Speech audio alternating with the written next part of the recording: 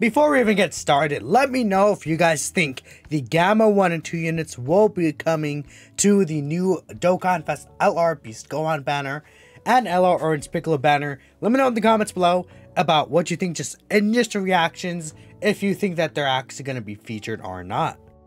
Now today, I'm going to make, I guess, kind of an argument of why I personally think that these units are going to be returning for the New Year's Dual Dokkan Festival with these two absolutely beautiful units. Um, I, I, I can answer. I know some of you have questions. The live stream is on the 26th, uh, 2 a.m. Pacific time, 5 a.m. 5 a.m. Eastern time, right here in the U.S. Um, I believe the actual uh like Twitter accounts, at least the JP version, tweeted out a link already, so we can see exactly when they start in your time zone.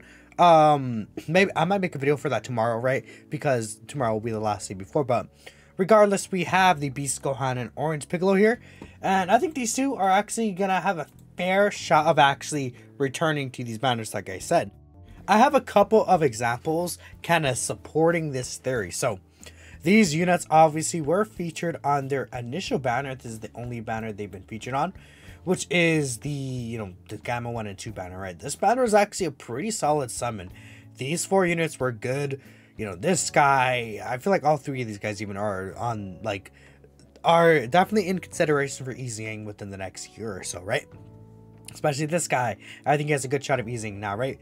So I want to say, even if these guys are featured on these new banners, don't feel discredited if you did summon. This banner was definitely, I feel like, really worth your stones.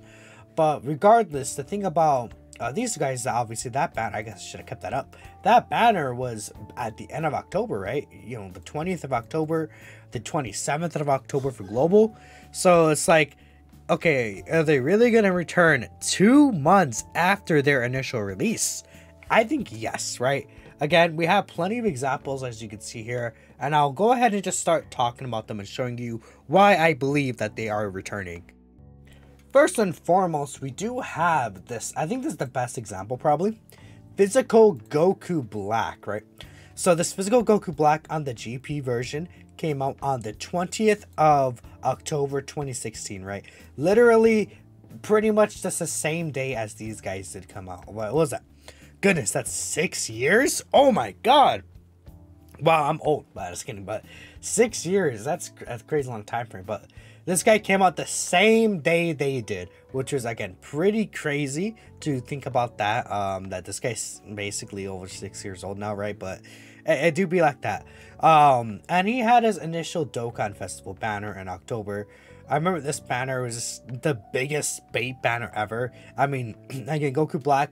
It wasn't too recent in the anime. This is the first like actual Goku Black unit we got in the game, so people were very excited about him. He was uh, he was not bad on release. He was pretty solid, right? but um, it's really funny. Uh, unfortunate for a lot of the people who summon on this banner, because if you take a look at the next month, literally one exact month after we had the Super Saiyan Rose Goku Black banner. Like this banner left like two weeks before this banner came back, and this guy returned. oh my goodness! So sorry if I cough a little and stuff. I'm gonna cut there. I am low key just like a little um my throat is really sore. it, it's that winter time, you know, but we gotta keep these videos coming out, my bro, for real. yeah, this guy came back a month after his release, literally two weeks after his banner left. This banner came out on he like was actually on a new banner.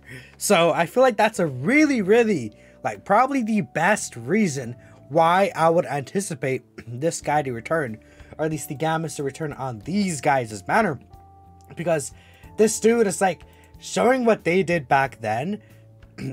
they could return these units whenever they really want to, and you know, I, I don't even think it would be as bad.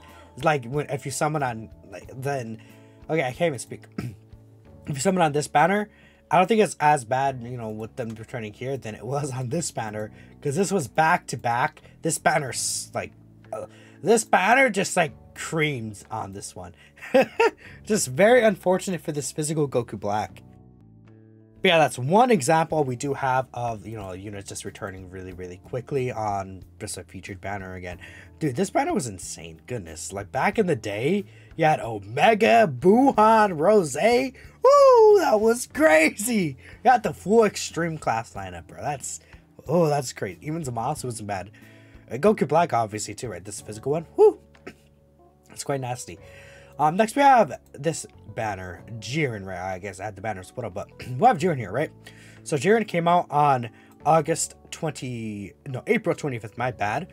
Uh, this was on the UI Goku banner, wait. Oh, yeah, because this is TUR, right? Remember, his SSR came out, and he didn't have a Dokkan Awakening, right? Is there a way I can click on this? you can see, his SSR came out on the 17th of um, March, which was obviously the same day banner, right? So you could see he got his Dokkan Awakening on the 25th. Now, I feel like this is a little, just a teeny bit different because this is like him without a Dokkan event. Then we got his Dokkan event a month later with the Blue Evolution Vegeta. But I feel like it technically still does count. Yeah, I, I do technically feel like it still counts because it's still Jiren. This is Jiren's debut banner, right?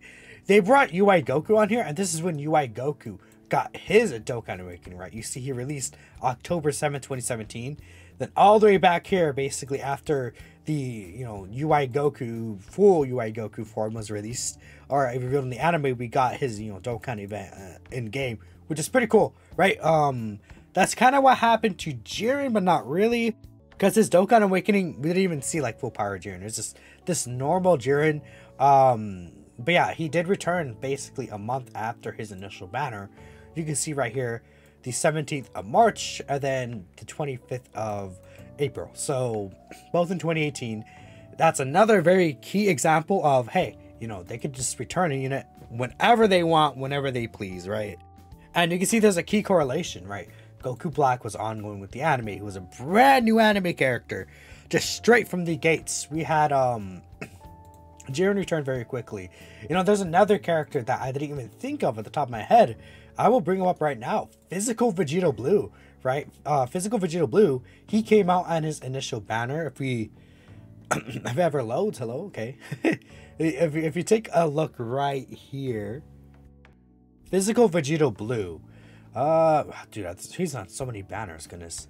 He came out right here on his initial banner. I, I think it's this one. We'll just click this one. And then he came back on the Sword of Hope Trunks banner very quickly, right? The November 17th, right? Same as the Rose banner. And then right here, bam, we see in December on this banner, the New Year's banner for 2016, we return on this banner. Even Eiji Rose, right? Didn't he return very, very quickly as well, right? I mean, these guys have been on a billion banners, right? Yeah, he was on this banner in November. Then he was on this New Year's kind of step up banner. And then he was on the anniversary banners, right? So again, they return these units very quickly because not only are they good, they're just brand new characters, brand new hype, right? Very exciting. And then the last case and point I have is Angel Golden Frieza. this guy came out on the 29th of uh, September 2017, right? You can see he was on his initial banner right here on the 20 um, 2017, the September 29th date, right? Very easy to see that, right? And you can see here, he returned on the Super Saiyan 3 Bardock banner literally, what is that, two months after? So, again, brand new anime characters usually tend to come back very quickly. I think that's going to be the case for the Gammas, but I don't know. Those are just examples I want to bring up. I think it did deserve its own discussion video.